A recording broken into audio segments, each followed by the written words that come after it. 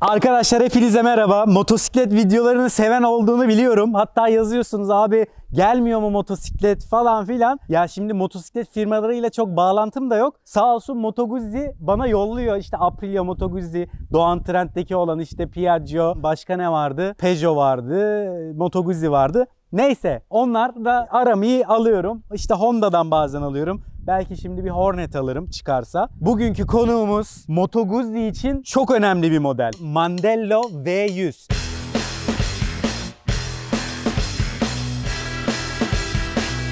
Bir haftadır inceliyorum, bakıyorum. Yani şu jantın şu jant motosiklet aldırır yani. Bu bir sport touring motoru. 1042 cc'lik V-twin 90 derece, 105 Nm torkluk, şaft aktarmalı, çift Brembo frenli falan böyle harika bir makine. Yani ben tabii çok motorcu değilim. Hani bilmiyorum o kadar ama bir mühendis gözüyle baktığım zaman çok güzel detaylar var motosiklette. Bir de deneyimliyorum işte. Hani orası şimdi ben ne kullandım? 750 GS kullandım. V85 TT kullandım. Diavel kullandım. Hani aslında fena değil. Hani aşağı yukarı ben de benim de bir fikrim oluşmaya başladı yavaş yavaş motosikletleri kullandıkça. Bu dünyayı keşfettikçe ben de mutlu oluyorum. Bu motor çok önemli dedim Moto Guzzi için. Neden önemli? Çünkü Moto Guzzi hep o hava soğutmalı V-Twin motoruyla bilinir. Burada yine V-Twin'ini korumuş, geleneğini korumuş ama su soğutmalı bir bloğumuz var. 1042 cc dediğim gibi. Ama onun yanında bu 100 demesinin sebebi de bundan sonraki yüzyıl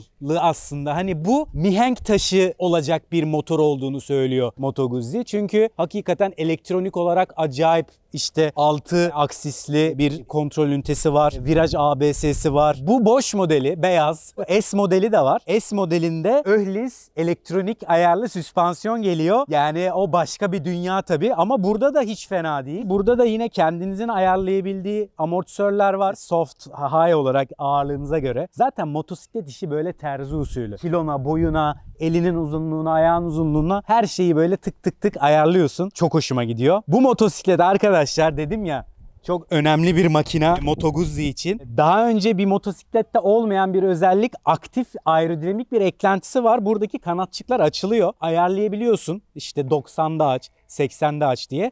Markanın demesi %22 buradaki basıncı azaltıyor ve havayı aktarıyor. Şöyle hakikaten kapandığın zaman az rüzgar yiyorsun. Hakikaten böyle spor motosiklet gibi. Tabii ben süper sporları o işte ZX onlarmış 600 cc süper spor onları kullanmadım. Hani onlarda kapanınca herhalde kurşun gibi oluyorsun. Ama bu touring motoru bir güzel özelliği de şununla beraber kendinizin ayarlayabildiği burada vizörü var.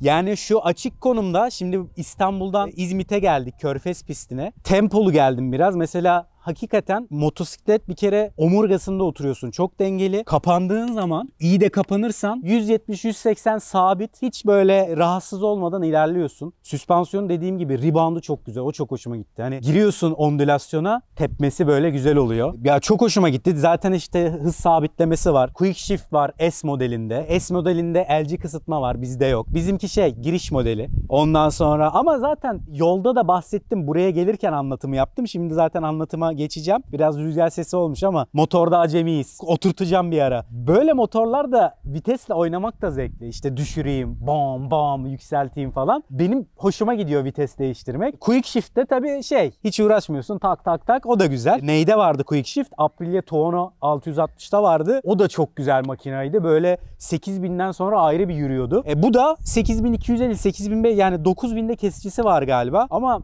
soluksuz yani direkt 200-240 yapıyor. Çok rahat ettim. Yolda falan çok rahat ettim. Yakışı yolda bahsediyordum. Şehir içinde 7.5'larla dolaşıyordum. Genelde 140 sabit. Ara ara 180-200 oldu. E, şu an ortalamam 6.9'a düştü. yani akıtınca daha güzel yakıyor. Daha az yakıyor yani. 17 litre bir deposu var. Deposu böyle şey. Bak kanatçıklar kapandı. Deposu böyle güzel yapmışlar. Bir yere gittiği yok. Tabi ses de çok iyi. Bir ses dinleyelim. Ses dinleyelim.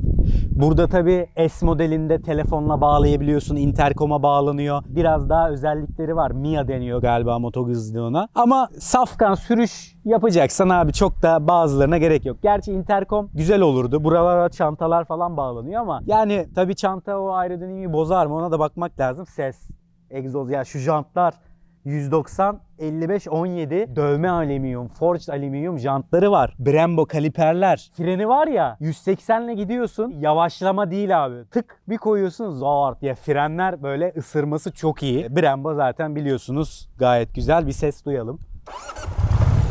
Tabi V ya. Mesela gaz verdiğinde o V85'te bayağı oluyordu. Düşecek gibi oluyordun.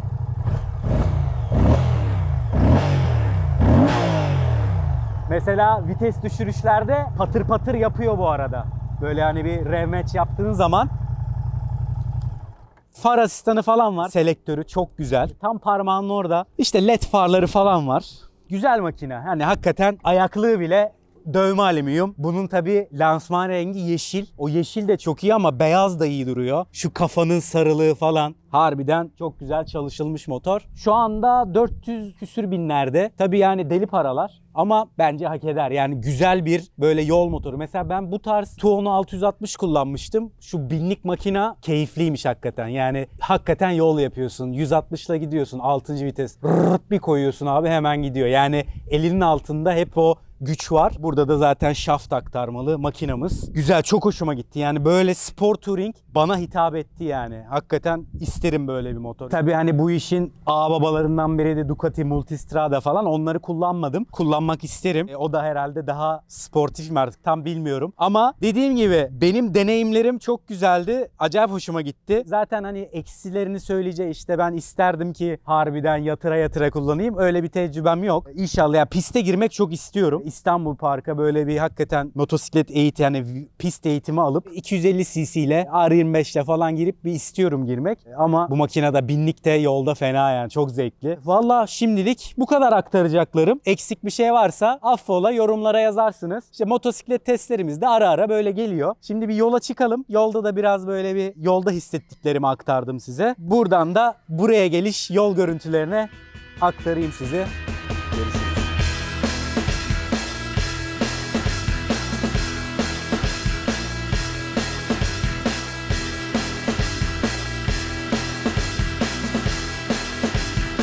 Evet dostlar, sürüşümüze başlayalım. Alüminyum ayaklık ne güzel duruyor. Debriyajı çok güzel. Dozajlaması falan da harika debriyajın. Çok dengeli ya. Ben bu motoru ilk böyle oturduğumda ya tabii ben bir motorcu değilim. Ahkam kesemem ama kullandığımdan yola çıkarak e, GS böyle GS havası aldım. Dengeli çünkü. Hoşuma gitti yani böyle kocaman motor gibi hissetmiyorsun. Evet 212 kiloluk bir motor ama hem hızlı alt devirler dolu dolu. Yeni motor. Yepyeni motor.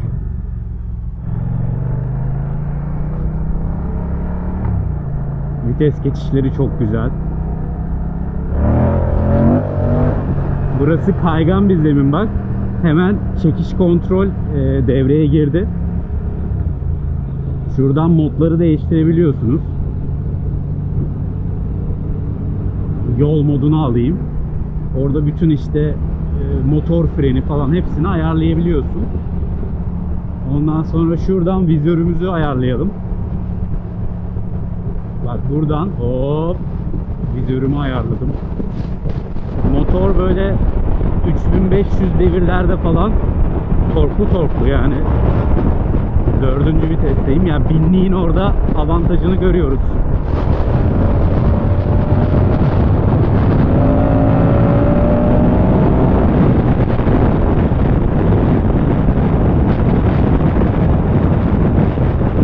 Bir yol motorunda niye binliğe ihtiyaç duyulur diye eskiden sorardım.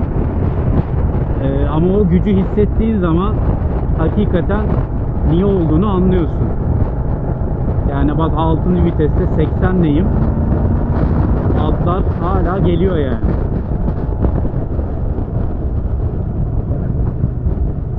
Gaz emirleri çok iyi ya.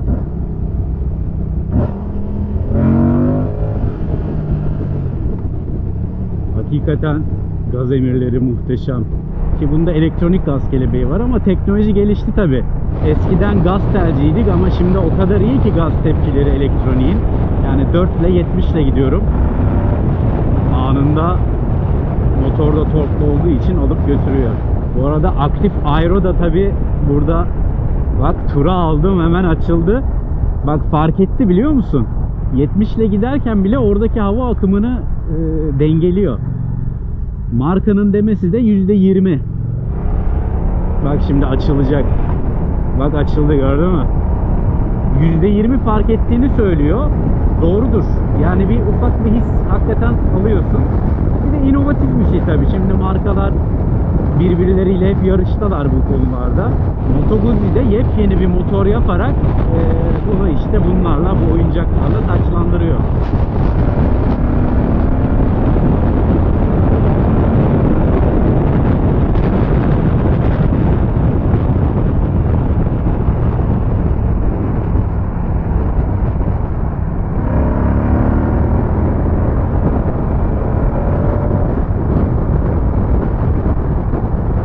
Motorumuzun arkadaşlar cruise kontrolü var. Normalde şu aslında çekişi de bak şimdi MGCT'yi ayarlayabiliyorsun güç 2 diye. Şöyle sola çektiğinde şu anda cruise'da gidiyoruz. Mesela 6. vites aldım, sola bastım. Şu an gördüğünüz gibi 80 ile cruise'da gidiyor. Sonuçta bu yol motoru. Yol motoru olduğu için de bence önemli bir detay.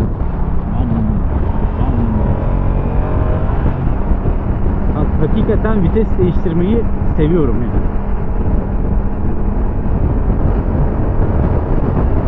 Oturuş pozisyonu çok güzel.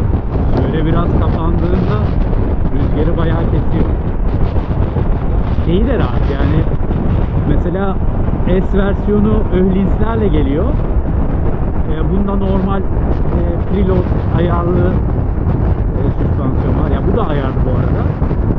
Ama öyleyse otomatik ve öyleyse yani bu işin ağ. Ama bu da çok güzel. Yani şeyi çok hoşuma gitti böyle engebeli bir yere giriyorsun.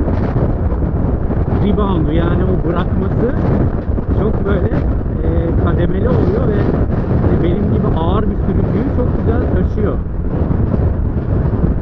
Bence güzel bir dengeli bir yol motoru.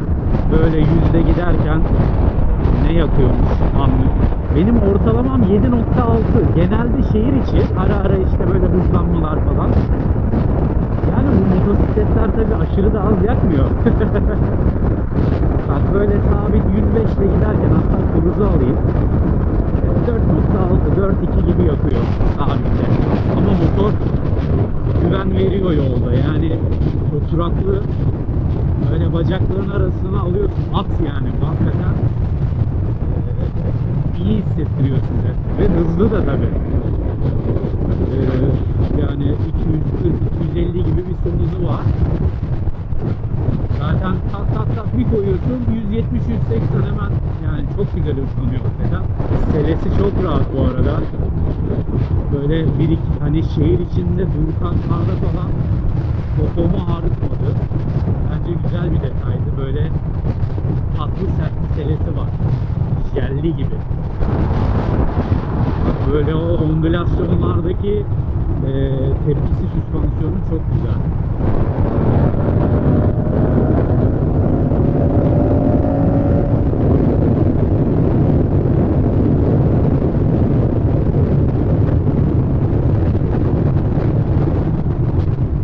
Shift Light'ı 6000'lere ayarlamışlar ama tur 8250 gibi çeviriyor. Yanlış hatırlamıyorsam. Ee, kesicisi de 9000'lerde olması lazım. Yani şey böyle hem devirli yani stunt sport touring yani çok hoşuma gitti bu tarz. Hem yürüyor hem konforlu yol. Hani bu tarz hakikaten çok böyle her yola gelen bir şey.